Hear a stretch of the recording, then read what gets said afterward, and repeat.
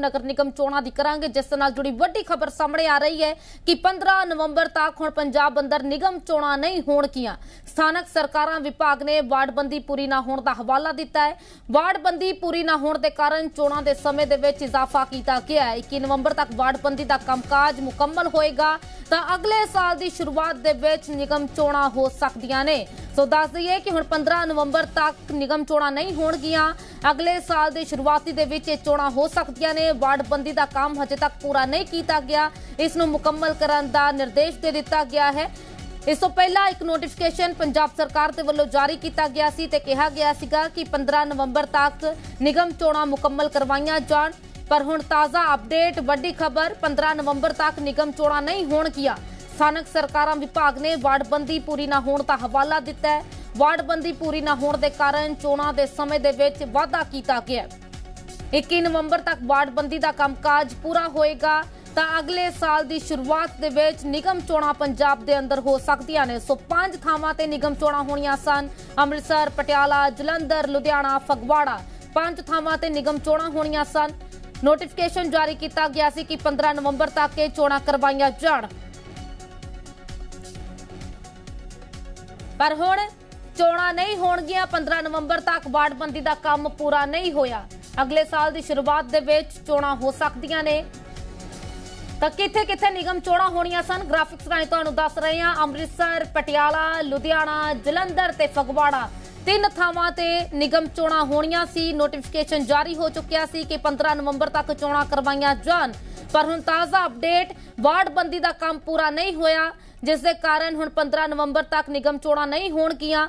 ਕੰਮ ਪੂਰਾ ਕਰਨ ਦਾ ਹਵਾਲਾ ਦਿੱਤਾ ਗਿਆ ਹੈ। ਕਿਹਾ ਗਿਆ ਕਿ ਹਜੇ ਤੱਕ ਵਾਰਡਬੰਦੀ ਦਾ ਕੰਮ ਪੂਰਾ ਨਹੀਂ ਹੋਇਆ। 21 ਨਵੰਬਰ ਤੱਕ ਕੰਮਕਾਜ ਪੂਰਾ ਕੀਤੇ ਜਾਣ ਦੀ ਸੰਭਾਵਨਾ ਜਤਾਈ ਗਈ ਹੈ।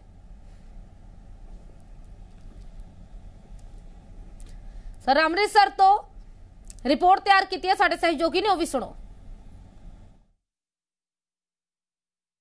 ਕਾਰਪੋਰੇਸ਼ਨ ਚੋਣਾਂ ਨੂੰ ਲੈ ਕੇ ਸਿਆਸੀ ਪੇਚ ਲਗਾਤਾਰ ਫਸਿਆ ਹੋਇਆ ਹੈ। ਤੁਹਾਨੂੰ ਦੱਸ ਦਈਏ ਕਿ ਜਿੱਥੇ ਬਨਵਾਰੀ ਲਾਲ ਪ੍ਰੋਹਿਤ ਰਾਜਪਾਲ ਪੰਜਾਬ ਨੇ 15 ਨਵੰਬਰ ਤੋਂ ਪਹਿਲਾਂ ਪਹਿਲਾਂ ਚੋਣਾਂ ਕਰਵਾਉਣ ਦੇ ਆਦੇਸ਼ ਦਿੱਤੇ ਹੈਗੇ ਨੇ, ਪਰ ਦੂਜੇ ਪਾਸੇ ਨਾ ਤਾਂ ਇਲੈਕਸ਼ਨ ਕਮਿਸ਼ਨ ਵੱਲੋਂ ਅਸੀਂ ਕਹਿ ਲਈਏ ਕਿ ਕੋਈ ਡੇਟ ਫਾਈਨਲ ਕੀਤੀ ਗਈ ਹੈ ਤੇ ਨਾ ਹੀ ਕੋਈ ਅਸੀਂ ਕਹਿ ਲਈਏ ਕਿ ਹੁਣ ਤੱਕ ਤਿਆਰੀ ਦਿਸ ਰਹੀ ਹੈ, ਕਿਉਂਕਿ 15 ਨਵੰਬਰ ਤੋਂ ਲੈ ਕੇ ਜੇਕਰ ਅੱਜ ਦੀ ਅਸੀਂ ਗੱਲ ਕਰੀਏ, ਦਿਨ ਸਾਰੇ 10 ਰਹਿ ਗਏ ਨੇ।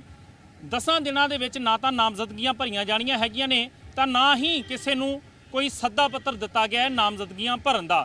ਨਾ ਹੀ ਕੋਈ ਸਕਰੂਟਨਿੰਗ ਕੀਤੀ ਗਈ ਹੈਗੀ ਹੈ ਕਿ ਕਦੋਂ ਵਾਪਸੀ ਲਈ ਜਾਣੀ ਹੈ। ਸੋ ਅਸੀਂ ਅੱਜ ਅੰਮ੍ਰਿਤਸਰ ਮਿਊਨਿਸਪਲ ਕਾਰਪੋਰੇਸ਼ਨ ਦੇ ਦਫ਼ਤਰ ਦੇ ਬਾਹਰ ਮੌਜੂਦ ਹੈਗੇ ਆ ਤੁਸੀਂ ਦੇਖ ਸਕਦੇ ਹੋ ਮੇਰੇ ਪਿੱਛੇ ਕਿ ਦਫ਼ਤਰ ਜਿਹੜਾ ਹੈਗਾ ਉਹ ਉਸੇ ਤਰ੍ਹਾਂ ਹੀ ਚੱਲ ਰਿਹਾ ਹੈ, ਰੋਜ਼ਨਮਾ ਜਿਵੇਂ ਚੱਲਦਾ ਹੈ। ਪਰ ਇਸ ਵਿਚਾਲੇ ਇਲੈਕਸ਼ਨ ਦੀ ਕਿੰਨੀ ਕੁ ਤਿਆਰੀ ਹੈਗੀ ਹੈ, ਕਿਉਂਕਿ ਕਾਰਪੋਰੇਸ਼ਨ ਦੀਆਂ ਚੋਣਾਂ ਜਿਹੜੀਆਂ ਨੇ, ਉਹ ਕਰਵਾਉਣ ਨੂੰ ਲੈ ਕੇ ਰਾਜਪਾਲ ਪਹਿਲਾਂ ਹੀ ਸਰਕਾਰ ਨੂੰ ਕਹਿ ਚੁੱਕੇ ਨੇ। ਇਸ ਵਿਚਾਲੇ ਹਾਲੇ ਤੱਕ ਸਰਕਾਰ ਨੇ ਕੋਈ ਵੀ ਕਦਮ ਜਿਹੜਾ ਉਹ ਨਹੀਂ ਚੁੱਕਿਆ ਹੈਗਾ, ਕਿਉਂਕਿ 15 ਨਵੰਬਰ ਨੇੜੇ ਆਉਣ ਵਾਲੀ ਹੈ, ਸਿਰਫ ਤੇ ਸਿਰਫ 10 ਦਿਨ ਇਸ ਦੇ ਪਿੱਛੇ ਰਹਿ ਚੁੱਕੇ ਨੇ।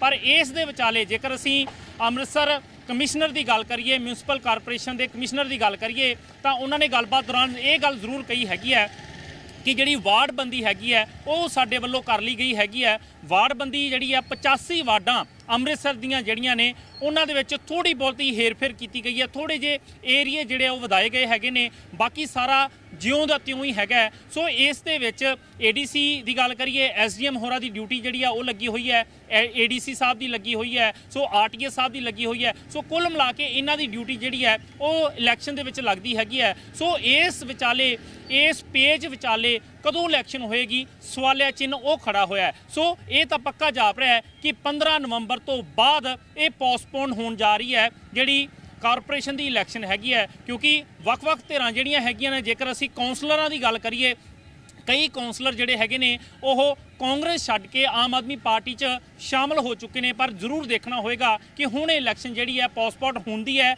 ਜੇ ਹੁੰਦੀ ਹੈ, ਤੇ ਕਦੋਂ ਜਾ ਕੇ ਇਹ ਇਲੈਕਸ਼ਨ ਜਿਹੜੀ ਹੈ, ਹੁਣ ਹੋਏਗੀ। ਕੈਮਰਾਮੈਨ ਦਲੀਪ ਕੁਮਾਰ ਦੇ ਨਾਲ ਪਰਮਵੀਰ ਸਿੰਘ ਔਲਖ ਜ਼ੀ ਮੀਡੀਆ, ਅੰਮ੍ਰਿਤਸਰ।